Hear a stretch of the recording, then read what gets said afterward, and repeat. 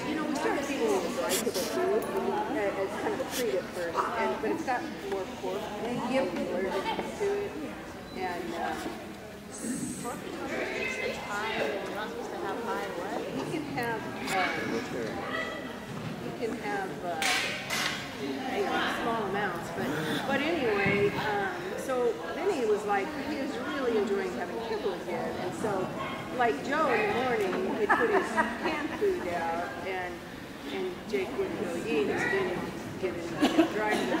Oh God, I know.